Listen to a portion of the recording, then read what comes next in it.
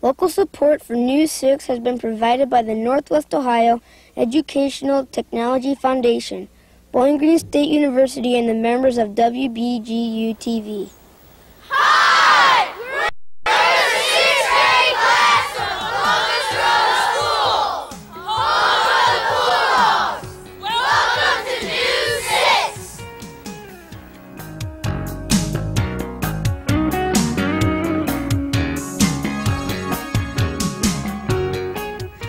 Hi, I'm Ryan Benruth from Columbus Grove Elementary School. Welcome to News 6.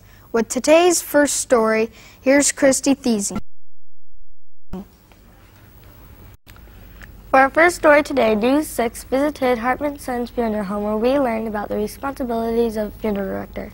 Here's Michael Oglesby with the story. Thanks, Christy. I'm Mike Oglesby here with Lynn Hartman, the funeral director. Lynn, when did you decide to become a funeral director? Shortly after graduation from college, when I returned home and I worked with my family uh, in the business. Lynn, how has the funeral business changed over the years? Uh, in the last 20 years, there have been many significant changes, uh, not the least of which is an increase in cremation, probably due to economic factors. Uh, also, we're doing more pre-arranging of funerals today. Lynn, who started Hartman Sons Funeral Home?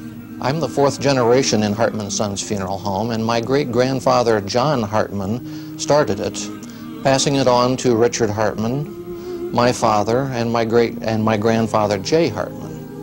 Not that I'm in the market for a casket, but could you like, tell me about this one if it's sealable on that? Sure, Michael. This happens to be a hardwood walnut casket. Uh, by the way, it's a half couch, that is, only one half of the lid opens. There are also full couch caskets used in certain uh, areas of our country.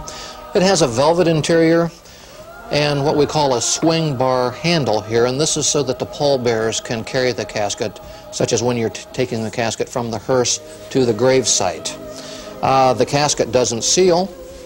I can show you here that that's just all solid wood. But the burial vaults, for the most part, most of them are a sealer type. Lynn, in general, what are these caskets made of? Caskets are made of different materials, Michael. Some of them are constructed of metal, like copper, bronze, and there are also steel, including stainless steel caskets. Uh, some of them are hardwood. Thanks, Lynn, for letting us come out here and take this, and I hope I don't see you again for quite some time. Michael, you're very welcome. Back to WBGU TV.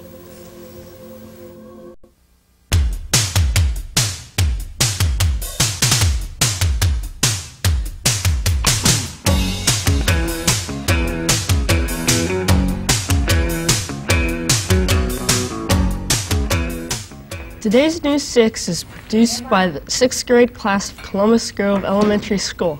Columbus Grove is located approximately 16 miles north of Lima, Ohio, and its population of about 2,300.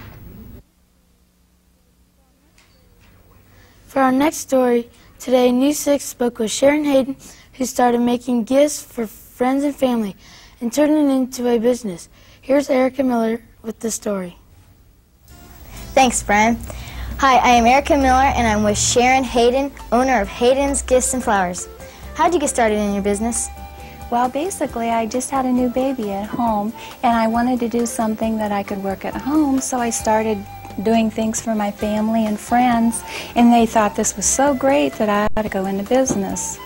What are some of the flowers you sell in your store? Most of what we sell here is the silk flowers, where people come in, bring a little bit of wallpaper, and uh, then we'll match that to the flowers and do up a special arrangement for the room. So predominantly it would be like the roses and lilies and things in the silk. What are some of the items you sell in your store? Besides fresh and silk flowers, we sell a lot of porcelain dolls, special gifts, Victorian ideas, little baskets for the wall. People come in and ask for special orders. We'll make them up a big garland or a fireplace mantelpiece. A lot of, lot of different things. Sharon, what is a silk flower?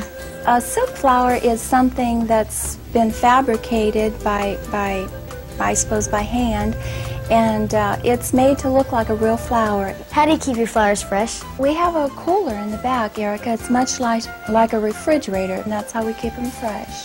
What are some of your busiest seasons? Our busiest holiday is Christmas. People come from all over to come to our Christmas open house. If I had a boyfriend, would it be okay if, to give him flowers? It's an excellent idea, Erica. Um, today it's, it's considered in very good taste to send men and boys flowers. Thank you, Sharon. It's been a lot of fun and educational. You're welcome, Erica. It was my pleasure. Back to WBGU. The issue of abortion strikes a very passionate chord in so many people. Everyone has strong pro-choice or pro-life opinions. Today's Kid View, Kids View Questions discovers how the sixth graders of Columbus Grove Elementary School feel about the issue. Hi, this is Beth Fickle, and today's kids' question is yes, even sixth graders think about this. Should abortion be illegal? I think abortion should be illegal because what if the um, parent who is aborting their kid stopped and thought, what if they were aborted? Yes, I think abortion should be legal because every living thing should have a chance to live. Yes, I think abortion should be legal because even if you don't want the kid, you should at least give it up for adoption. Yes, I think abortion should be illegal because everyone should have a chance to live. For our last story today, News 6 takes a look at an important step in stopping the spread of HIV, the virus that causes AIDS. That step is education. Kurt Fort- Here's Kurt Fortman with the story. Thanks, Matt. I'm Kurt Fortman here with Linda Fortman for the Teen AIDS Education Project. Let's listen in. AIDS is a disease that we hear about almost every day. But there hasn't been a disease in the history of our nation that's been surrounded by so much fear, and that's because there's so much wrong information. AIDS education is important because we need to get the facts out so we can stop the spread of this disease. Linda, what is the Teen AIDS Education Project? The Teen AIDS Education Project is a project whereby we use teens to teach other teens about HIV and AIDS. We're doing this project because uh, we found that teens in area counties were not receiving the education they needed when it came to AIDS, and also because people get really uncomfortable when they have to talk about AIDS. Linda, how does someone get infected with HIV? In order for somebody to get HIV, the virus that causes AIDS, inside their body, they need to get one or more of these four body fluids right inside them. And those are semen from the man during sexual intercourse, breast milk from the mother, vaginal fluids from the woman during sexual intercourse, and also from blood. HIV is the virus that causes AIDS. But when HIV is in the body, it begins to break down the immune system. That's the system that fights off disease. Linda, I'm kind of curious. Is there a cure for AIDS? If not, will there be one? The only 100% guarantee that you're not going to become infected is by choosing not to be sexually active and not to use drugs. In 1993, uh, we still have a lot of misinformation about AIDS and there's a lot of fear. We still don't allow people to go to school, we don't allow them to go to church, we don't want them in their job because we're afraid of them. And the best way that we stop the fear is by getting as much education as we can, and so that's what our project does. We're hoping to reach area teenagers with very important information so they can make wise decisions and wise choices to keep them from getting this virus. That's all for now. Now back to you, WBGU. Thank you for joining us this season. Tune in next season when News 6 begins its 22nd year. Have a great summer.